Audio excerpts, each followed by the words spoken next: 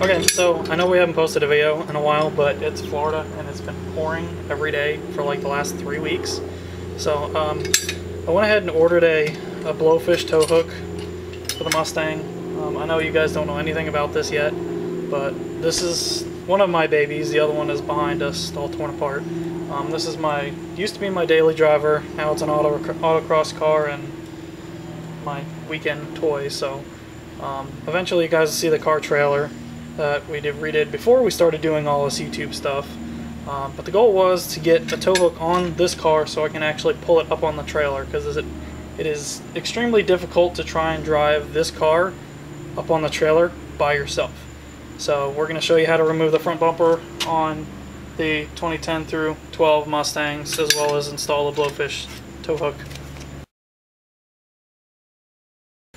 Alright, so in order to take the front bumper off the car, because the tow hook actually mounts to the um, push bumper, or the secondary bumper behind the bumper cover, um, so we actually have to lift the car off the ground, pop the hood, uh, in order to access all of the nuts and bolts. So we're going to do that now.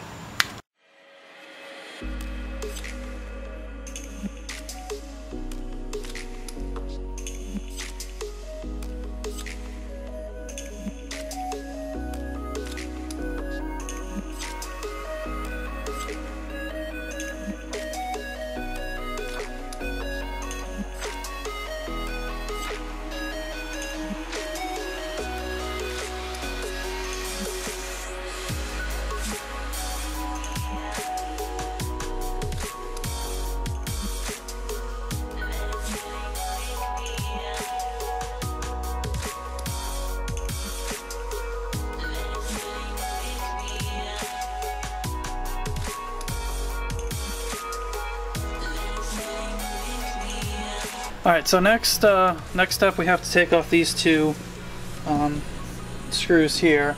Same on the other side. Um, and then there's a bunch underneath that we'll get to in a minute. It's a lot easier when you actually turn the wheel.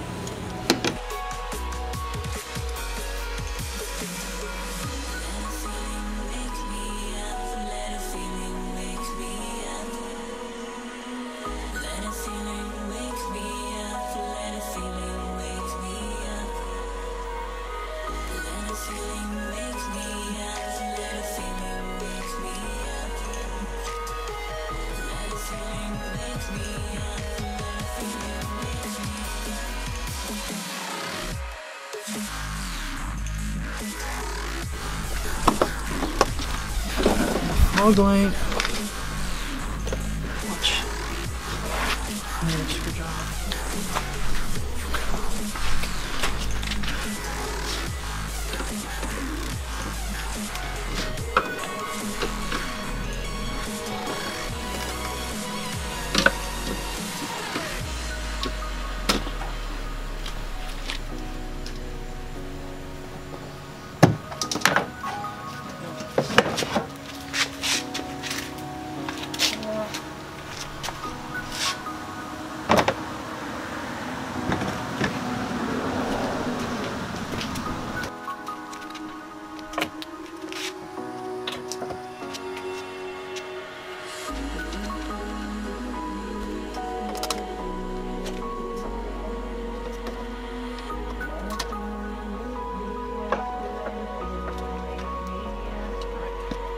Okay, so basically it's like a clamp type thing. It's kind of hard to explain while holding, but basically this will go over um, the actual bumper like this, and then it'll slide on like that, and these go down to hold it, obviously, like that,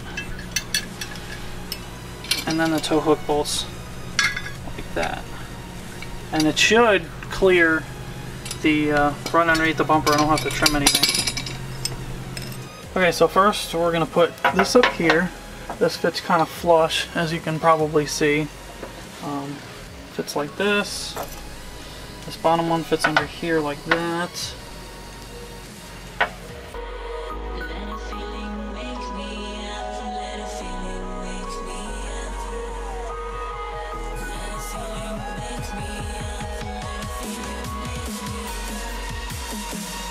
Yeah. Okay, so now that these these bolts are on all four, you just tighten them up and you can run the actual back bolts. Do that real quick. Alright, so next thing we gotta do, we gotta reinstall these. Um, because we couldn't leave them on first time because these bumps don't clear the lip here. So those just slide on real easily and then snap into place.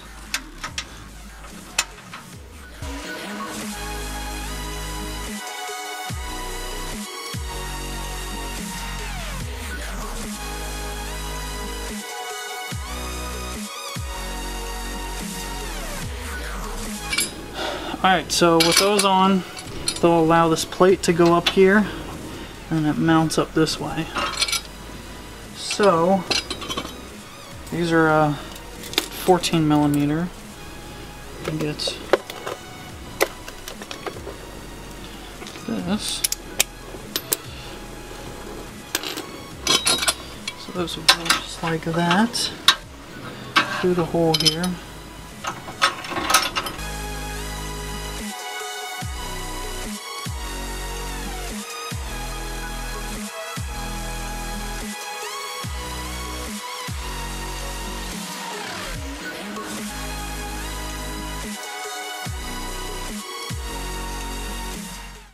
And ta-da!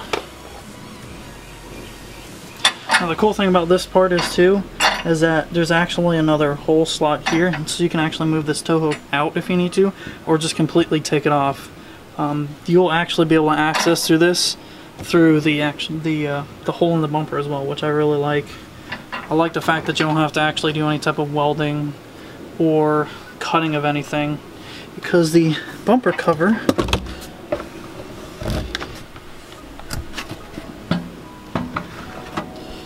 fits right over this.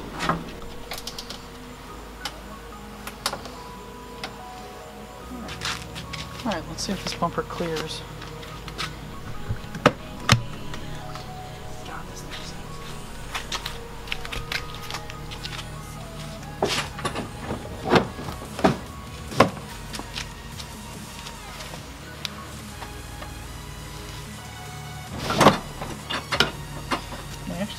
Do some trimming. Looks like it.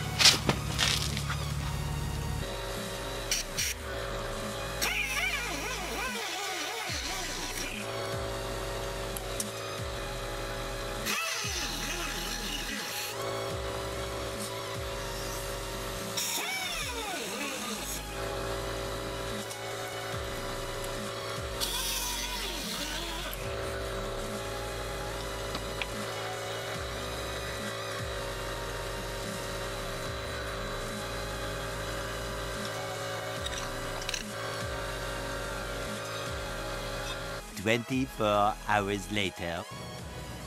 So obviously this is a new day. Getting pretty dark the night we're fishing out, finishing up the tow hook. Um, the bugs were getting pretty bad and the lighting was kind of crappy, so um, I don't know how much of the actual video we're going to show, but overall the install went pretty well. Um, I wasn't expecting to have to cut anything on the bumper, but it turns out I had to cut a little bit out um, with the California Special lower valence um, to make some clearance for the tow hook itself, which I'll show you in a second. So here's the end result. The car's pretty dirty still. I haven't washed it in a while. But as you can see, I kind of had to cut a little bit of the bumper. Um, nothing too bad. But the good thing, I like that you can actually remove the pin here and pull this off if you need to. But And you can access all the bolts. But I had to cut like a little bit out here. Nothing too bad, but overall pleased with the result.